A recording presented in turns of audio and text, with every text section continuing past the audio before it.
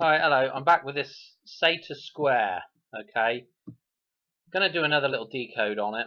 Um, apologies if I'm regurgitating something that Zenith of the Alpha's already done. Um, I'm not sure whether he's got this one or not. Um, and so anyway, I'll link here his channel um, and William Sullivan, who's done some work with him on this thing.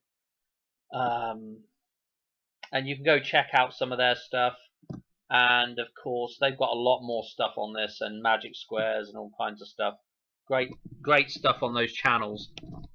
Um, but so I'll link them and and again, apologise if I'm just regurgitating something that's already been done. But you know, we are, you know, I'm just I'm just showing you what I'm seeing. Um, so without further ado, I'm going to crack on with this there was something bothering me about this um, this square, and it was the fact that I wasn't getting an, um, a one one one uh, reference from it, a very good one one one reference from it. Um, and of course, you know you can here's you can make the 11 here, and you could rotate this bar right here, and you could rotate that bar so that it was straight up and down and you get your 111. I mean, there are three bars there after all, so um, you've got the triple bar with the N if you wanted. Um, but when I was looking at that, I'm like, hmm, you could also just say that is 1 divided by 1, and that would equal 1, okay? And it's interesting with this 1 divided by 1 is also like a date as well.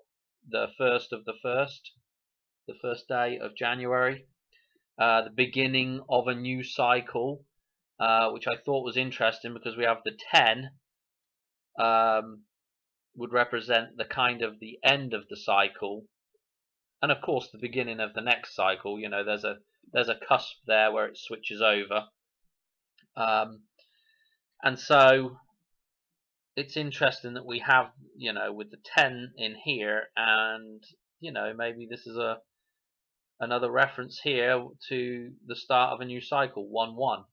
Uh, 1 divided by 1 equals 1. So I got my, my um, triple 1 reference, um, but it doesn't finish there because you can also, if you when you take this backwards um, n thing going on, okay, you can also uh, rotate and kind of invert this thing back on itself and you'll end up with this which again this sort of um, hourglass symbolism uh, which in fact I just had a comment with Journeyman. He mentioned this hourglass symbolism as well. Um, but this is a slightly different context here. Um, what we've got is we've basically got one um, times 1 here. Okay, I mean, I know we've got the we've got the two arrows pointing against each other and all that stuff as well, like Adam and Eve, the A of Adam and the V of Eve, and all this stuff.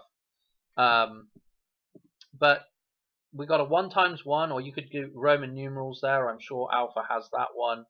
Um, and you could do that for 9, and then you invert it, you know, you twisted it around again, and there's your 11. Um, you know, if you just read to the center and then read back out from the center, sort of thing, as we're doing kind of with Tenet here as well. So, I mean, interesting stuff. Let me get rid of some of this so we don't get too complicated up here. But this is basically what I'm getting here is a 1 times 1 also when we flip that thing back around on itself. Uh, 1 times 1 equals, hopefully everybody passed maths, 1. Alright, so we got the triple 1 reference again, and it's kind of interesting because when we have it like this, okay, 1 divided by 1, well, that's what actually happened at 9-11, okay, because what we actually had was the removal of the Twin Towers.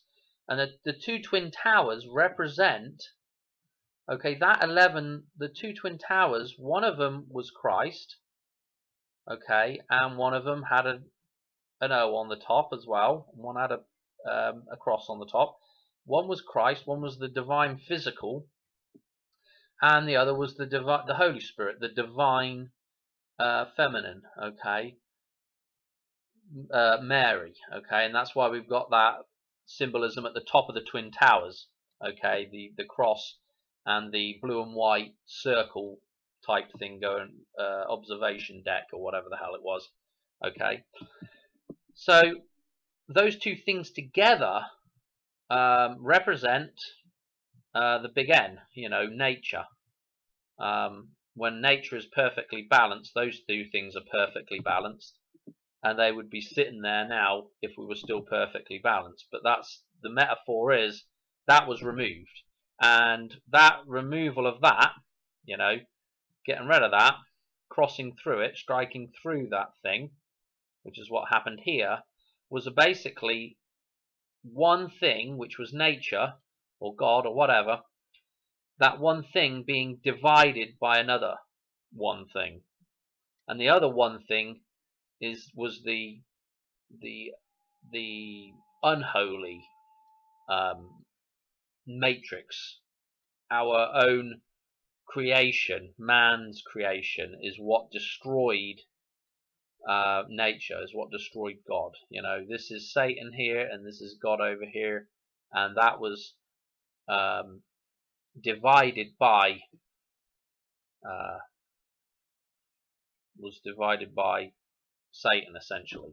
And the, the you know the symbolism is all the same because it's basically you know if you can figure this stuff out, you know when we were born into the world we were perfect. We were we were that big N, you know, we were nature, you know, and then we become of the world, you know, we become incorporated into the the matrix and all of a sudden now we are the one is exactly the same one that started off in the world. We've now divided that thing, okay? And we are now controlling that thing. That puts us in control. That one that's in control is basically the entanglement of nature. We're, we're the bindweed growing up the um, the cornstalk, if you like, of nature. And to begin with, it was okay, you know.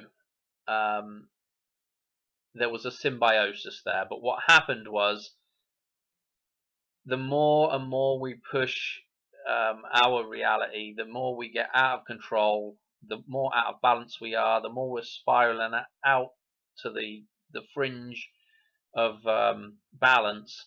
And of course, you know, when that happens, um, we've now we've now bound nature to our way of life, which is what's gone on with. That's why we have the One World Trade Center, which is like bindweed going up, like entanglement there. Okay, what we need to do is on our journey that we're on now to try and get back home. Home is God. Um, we need to cross that thing. Well, we need to cross the matrix. We need to cross Oz, as Dorothy did. And when we cross it, okay, when we recross so when we go against it, because we're going to cross, we're going to cross the matrix now. We're going to go against matrix, um, and that's what that's going to do is it's going to bring back balance to our world. Okay, and again, the cross represents balance. So when we recross the matrix now as the one, we make that journey. Uh, we become that one. We become this one right here. Okay, and that is Neo, yeah? The N for Neo, the 1, okay, the 1, the, the big N again, okay, we've become nature again. Um, boy, what else I want to say about this? Yeah, and again, with the 10, that marks the beginning and the end. You know, 1 is the beginning, and when we get to zero again that's the end and those two things together is the beginning and the end yeah 10 um, and this is you know the physical which is 1 the phallus symbol and the O the Vesica Pisces both standing to get both together okay both um, not intertwined anymore you know we haven't got one inside the other okay this is balance. And of course we've got it written here with 10. Okay? Um, but that's what we need to do. We've got to rotate our upside down reality. Our back, our backwards reality needs to be rotated. And of course alpha does a lot of uh, stuff with the rotation. But it says right here, rotate, you know. Ro rotor. Okay? And we need to, that's the way we're operating the system. We need to rotate our operation. Okay? That needs to be rotated, our operation. Okay, so that we can repossess, you know, we can repossess our um, you know our ownership of that thing, our tenant, tenant, our status. You could almost get status. I kind of get status there with that a little bit. Uh, I'd have to put a, an extra T and change that to a. But you know, you can change some of these without too much. You know, me being, uh, I I call myself partially dyslexic. Um, I, I often read words that aren't right. You know, I'm like that. You know, somebody I read something to somebody and be like, "That's not what that said, Dan." Uh, okay, you know. So you know, of course, I'm spotting stuff that other people might not spot as easily. I don't know. Um, I'm sure there's a number of you out there that have already spotted all these kind of ideas here, but um, but that's basically what's got to go on, you know, and we end up with this big scribbly mess at the end of it all. Um, I don't know what I've forgotten to put in there, but I just thought I was interested that we could get that 111. Um, and yeah, I'm trying to think. I must. I've probably forgotten something, but I didn't want it to be too long. Um, I'm going to leave it there. I mean, obviously, obviously, there's tons more meaning to a lot of this stuff, but you know, this uh, this Z as well is, you know, this is what we've got to cross. We've got to cross Oz, you know, and then we're going to end up with the number eight of man, you know. We're going to become men again, okay? That goes for men and women. we are going to become true um, true to the idea of mankind again. Okay. Um, I'm gonna leave it there. Otherwise, I'll just end up waffling on a bunch more nonsense, and it won't make uh, much more sense anyway. So, all right, I'll uh, I'll catch you on the next one. All right, cheers, bye.